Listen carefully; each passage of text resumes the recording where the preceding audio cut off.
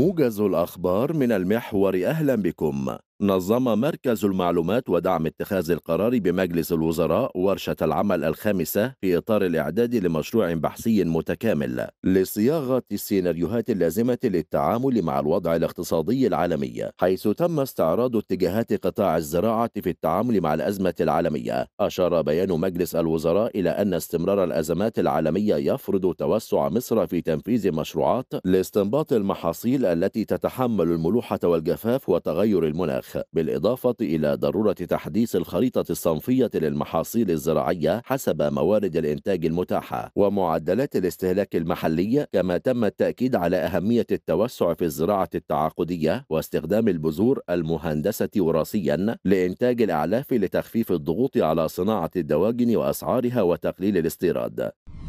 التقى سامح شكري وزير الخارجية ناصر بوريطة وزير الشؤون الخارجية والتعاون الإفريقي والمغاربة المقيمين بالخارج للمملكة المغربية. عقب مشاركتهما في أعمال الدورة الثانية والأربعين للمجلس التنفيذي للاتحاد الأفريقي بأديس أبابا. استعرض اللقاء التطورات الجارية في ليبيا وجهود مصر على صعيد دفع الحل السياسي للأزمة من خلال المسار الدستوري. كما تم مناقشة التطورات الراهنة بالأراضي الفلسطينية وأهمية العمل على تهدئة الأوضاع بهدف إحياء العملية السياسية وصولا إلى حل الدولتين وفقا لمقررات الشرعية الدولية. التقت الدكتورة رانيا المشاط وزيرة التعاون الدولي كريستينا دوارتي المستشار الخاص للأمين العام للأمم المتحدة للشؤون الإفريقية لمواصلة المحادثات بشأن التعاون المشترك على مستوى دعم جهود التنمية في مصر والتكامل الإقليمي وضرورة تحفيز جهود التنمية والمناخ في الاقتصاديات النامية والناشئة. تناول اللقاء استعراض برنامج المشروعات الخضراء نوفي من خلال الأجندة الأممية كنموذج مصري فعال في مجال التنمية التنمية والعمل المناخي بالإضافة إلى مناقشة الاستعدادات لإطلاق الإطار الاستراتيجي للشراكة مع الأمم المتحدة من أجل التنمية المستدامة 2023-2027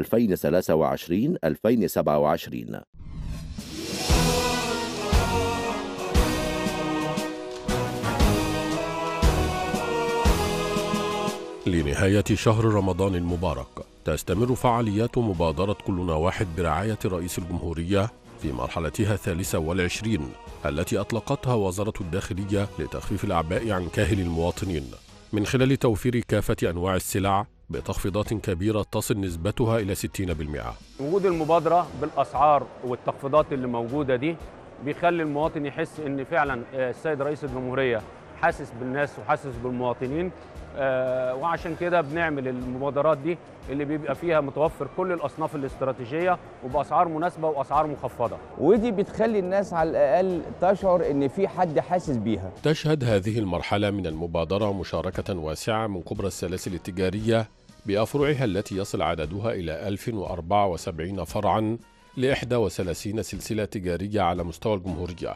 تتوفر فيها السلع المتنوعة بجودة عالية وبالتخفيضات المعلن عنها بالإضافة إلى سرادقات بالميادين الرئيسية و36 معرضا فرعيا للسلاسل التجارية المشاركة بمختلف المحافظات. مبادرة كويسة جدا بتقدر توفر طبعا للشعب المصري كل الأساسيات من زيت سكر آه، رز الكلام ده كله. فهي حاجة كويسة جدا يعني إن هي لازم تكون موجودة ولازم ندعمها. إن المبادرة دي ساعدت في إن إحنا ناخد آه، بسعر أقل من السوق. الاسعار كلها كويسة جدا وعامله عاملين تخفيضات كويسة جدا الصراحة. وفي إطار تطوير آليات المبادرة بما يضمن انتشارها ووفرة المعروض قامت الوزارة بتجهيز عدد من الشوادر الجديدة بالشوارع والميادين الرئيسية بمختلف المحافظات. يشارك فيها عدد كبير من الكيانات الصناعية والتجارية الكبرى بمعروضات متنوعة من السلع بأسعار مخفضة وجودة عالية. تزامنا مع قرب حلول شهر رمضان المبارك حيث تجري الاستعدادات والتجهيزات داخل هذه الشوادر وضخ كميات كبيرة من السلع بها. لافتتاحها أمام المواطنين اعتبارا من الثامن عشر من الشهر الجاري. للاستفادة من التخفيضات موضحة جميعها على موقع وزارة الداخلية على الإنترنت. إحنا موجودين النهارده في المبادرة بشكل مباشر لأول مرة موجودين فيها. كنا موجودين فيها قبل كده بشكل مش مباشر عن طريق وكلاء أو عن طريق آه، مجموعة من السلاسل التجارية اللي بتنزل المبادرة مع وزارة الداخلية طبعا. بس إحنا المرة دي لأول مرة نتواجد فيها بشكل مباشر. بنشارك بجميع أنواع السلع الغذائية اللي هي في المجال بتاعنا وبنحاول بقدر الإمكان إن إحنا نوفر السلع على مدار العام وبالذات في المناسبات زي شهر رمضان. وبنحاول بقدر الإمكان إن إحنا نتغلب على غلاء الأسعار اللي موجود عالميا دلوقتي.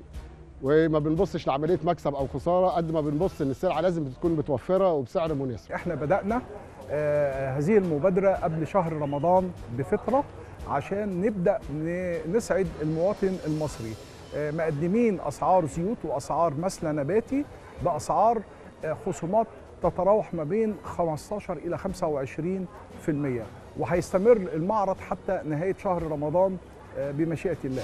أنا اللي دايما ببقى واقف لي وتحت مظلة المبادرة تواصل منظومة أمان توفير السلع عبر 1026 منفذا ثابتا ومتحركا على مستوى الجمهورية تابعة لها موضحة جميعها على موقع وزارة الداخلية على الإنترنت. فضلا عن استمرارها في طرح كميات إضافية من السلع بأسعار مخفضة من خلال سيارات متنقلة موجودة بالشوارع والميادين بالمناطق الأكثر احتياجا والأولى بالرعاية على مستوى الجمهورية. إحنا جنودك اللي بينا اشتد عودك واللي وجودنا انتشار كبير لمبادرة كلنا واحد منذ إطلاق وزارة الداخلية لها مع مشاركة واسعة من كبار التجار والسلاسل التجارية. أتاحت معروضا كبيرا من كافة أنواع السلع بأسعار مخفضة رغم المتغيرات الاقتصادية المؤثرة على أسعار السلع حيث تسعى وزارة الداخلية إلى تخفيف العبء عن كاهل المواطنين من خلال هذه المبادرة. دايما هنا شرطة وشعب اختتم فريق الأهلي تدريباته استعدادا لخوض مباراته ضد الهلال السوداني غدا السبت في ثاني مباريات دور المجموعات لبطولة دوري أبطال إفريقيا. وطالب مارسيل كولار المدير الفني للأهلي لاعبيه بضرورة التركيز في مباراة الهلال باعتبارها ضربة البداية في المشوار الإفريقي للفريق. بعد تأجيل مباراة الجولة الأولى ضد القطن الكاميروني وحثهم على ضرورة تحقيق نتيجة إيجابية تساعده على المنافسة للصعود الصعود إلى ربع نهائي البطولة الإفريقية.